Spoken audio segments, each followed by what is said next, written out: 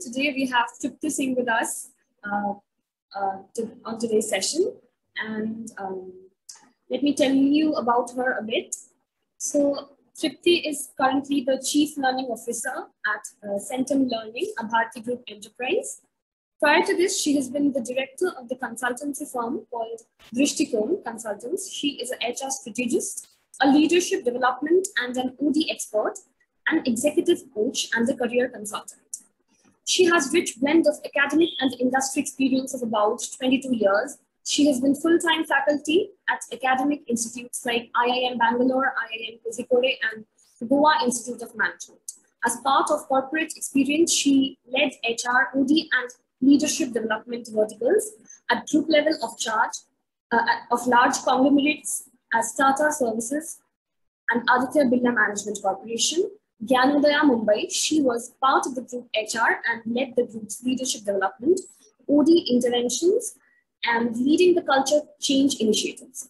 She has taught corporate executive programs at Ross School of Business, Michigan, and has taught executive programs with faculty from Harvard Business School, Rice University, and Accenture Leadership Academy for multiple years. She has also been associate HR consultant for family-owned businesses, developing and designing HR policies and practices for the organization and has been part of team managing the entire gamut of HR operations for a service organization. Her drive to be connected with young talent drives her to continue serving as a visiting faculty at XLRI Jamshedpur, IIM Amritsar, IIM Ranchi, IMT Hyderabad, TAPMI, T. A. Pai Management Institute, Manipal. She has doctorate qualification in management from XLRI School of Management, Jamshedpur. She is certified trainer for corporate governance by International Forum of Corporate Governance and a certified executive coach. She's certified on several psychometrics and leadership assessment or development tools. She has published about 23 research papers and case studies in international journals and national and international conference proceedings. She has developed and validated a scale psychometric tool to measure spiritual orientation at work. Over to you if you want to add something to it. No, uh, thank you, Pramita. You have uh, given a large background of myself. uh, thanks a lot. yeah. I mean, I do enjoy uh, different sides. I've been at the different sides of the table so far, right from entrepreneurship to education to uh, corporate sector and also as a, a core HR operation person. So it's an entire gamut of 360 degree approach to understand the subject deeper. Okay, so um, today we're going to talk about the uh, goal settings aspect of performance management. So, um, would you like to like uh, brief us about the different aspects of goal settings approach? So when we are talking about goal setting, I mean, um, every, whether it is an organization or as an individual, we all set goals and we have uh, uh, something to drive us. As individuals, we sometimes feel that, okay, uh, we can flow with the uh, flow, but in organizations, we need to achieve because we have achieved something, we have to be in existence. And that is uh, where uh, goals become more important and very prominent. So uh, when we are talking about goal setting, there are different methods of goal setting, different approaches to goal setting. I mean, it's a whole uh, subject in itself to be taught. Uh, let's uh, take it through the various questions that you uh, that you have. Uh, I can answer those. Okay, so I'll just jump into the questions. Um, so the first one is um, in your opinion, should goal settings be a collaborative process between managers and employees? If yes, then why? Uh, it is important to have a collaborative process. Goals are set for meeting objectives of the organizations. That we should be very clear of. And the employee employee is the executor of those goals. Now, uh, neither the employee nor the organization can be ignored while setting the goals. Therefore, it is important that both sit together to achieve or drive the goals that are important because organizations do need uh, I mean, have you as an employee to achieve those goals, organizational objectives. Otherwise, organization will not exist, and you are uh, also part of the organization to contribute to that goals. It is important to set it together. Neither the manager here is a representative of the organization, and you are representing yourself as an individual. So uh, both are important, both cannot be ignored, and therefore it cannot be done in isolation of each other. You cannot be setting goals on your own without considering the organizational objectives, understanding the whole gamut of the organization, uh, what is happening, because you might not have the entire perspective, whereas manager is bringing that perspective into uh, a picture while setting the goals and you as an individual and manager both are working towards me, meeting interest of you as an employee and organization as uh, your employer. So uh, goal setting should be a collaborative process. Yes. Okay, so um,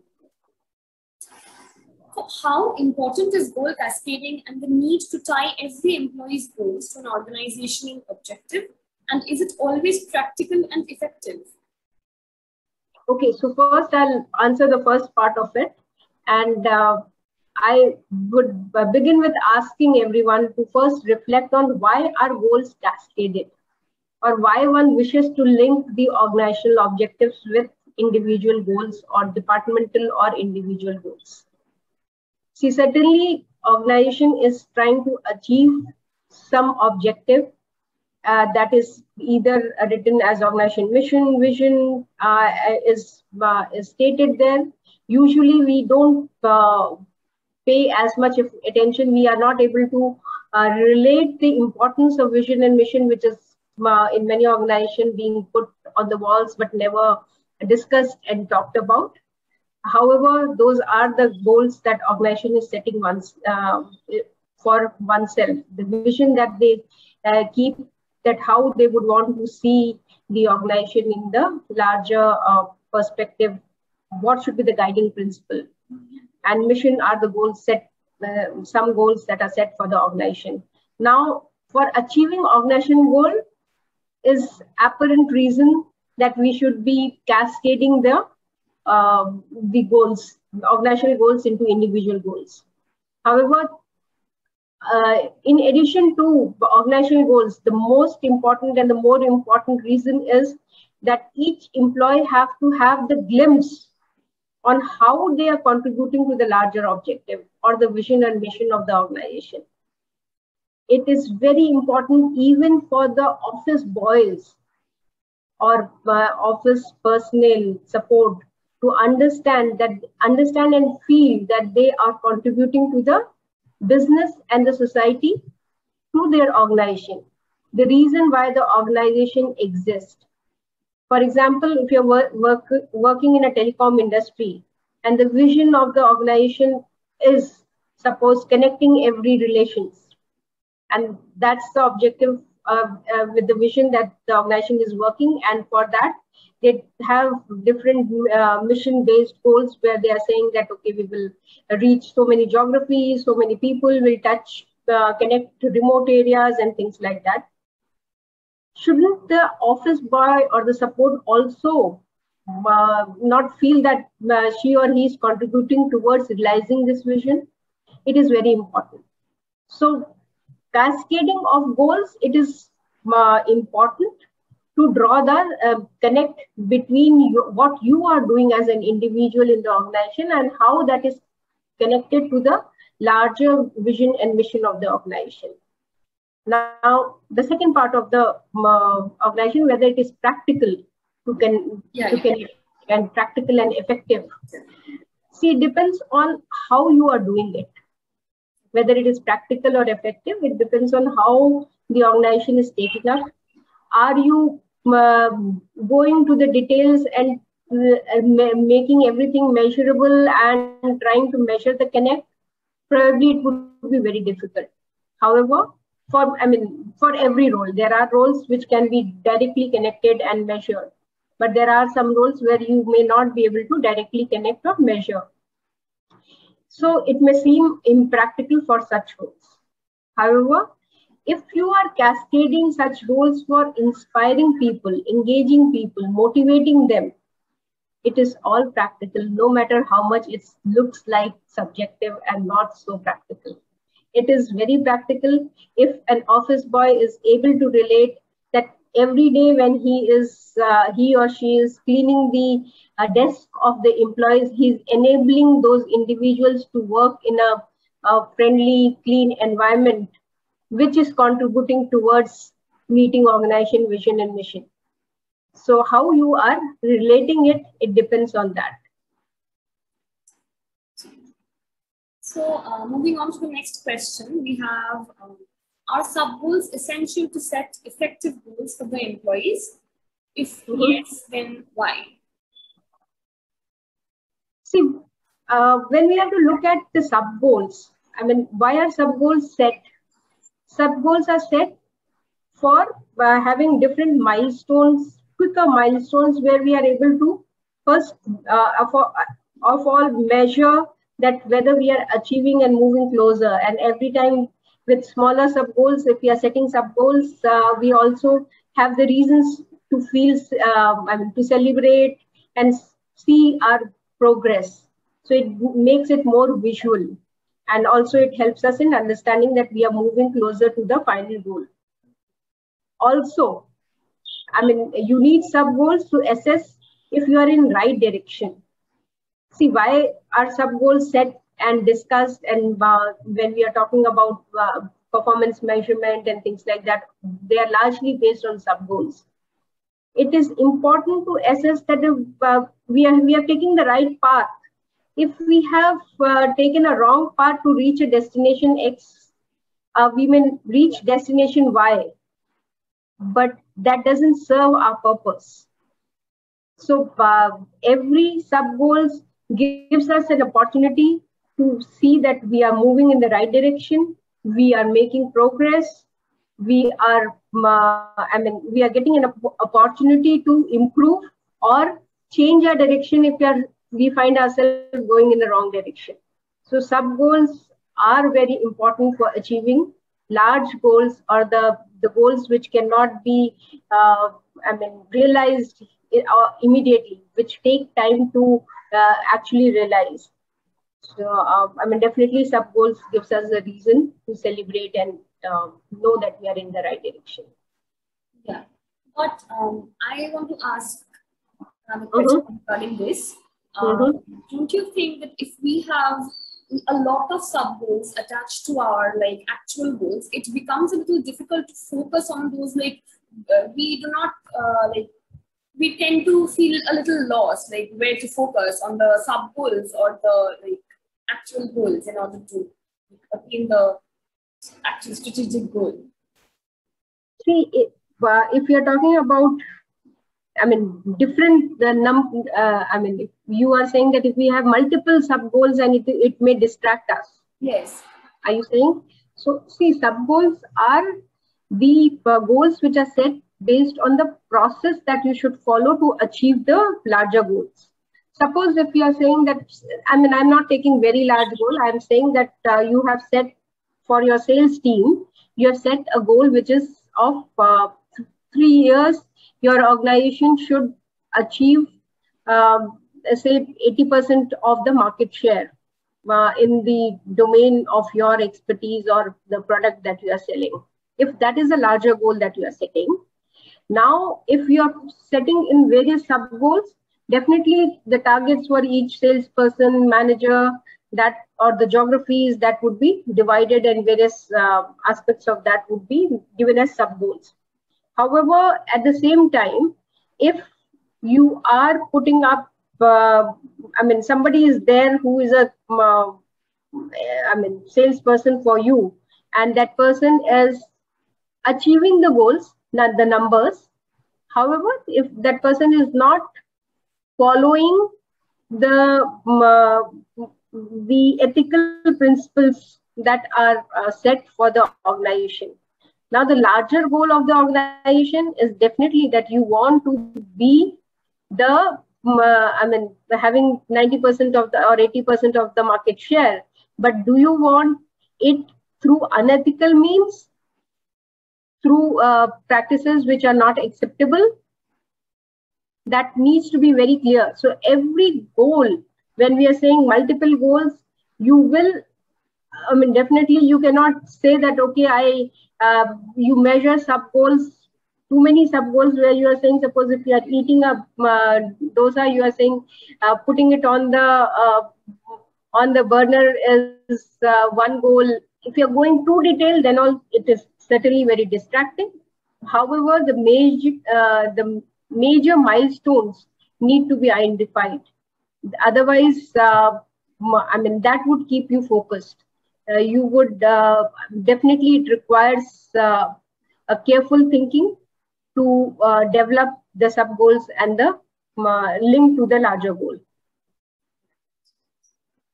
Thank you. So um, the next one is uh, how should zero target goals be measured for performance in an organization?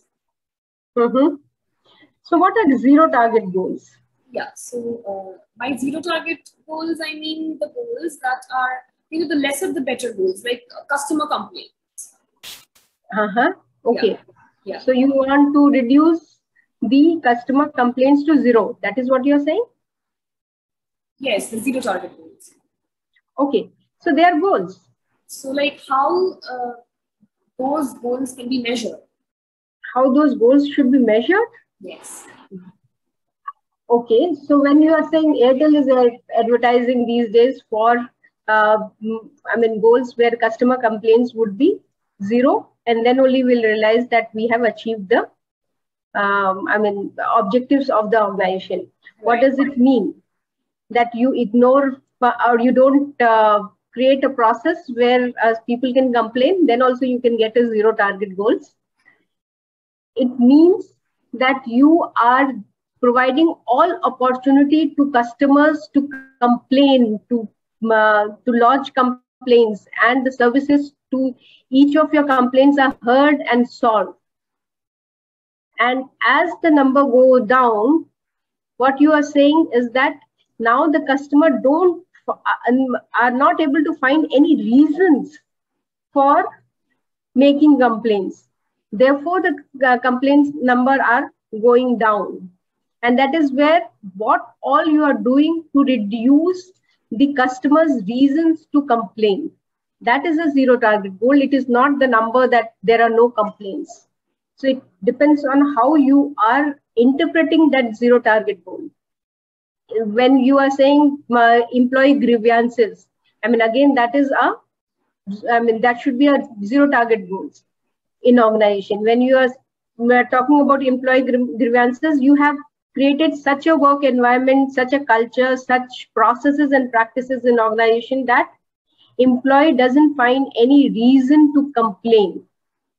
It is all transparent and people are generally happy about whatever work they are given, whatever um, remuneration they are getting, the kind of managers they are getting, the work environment that they are getting. So it it should reduce to minimal level.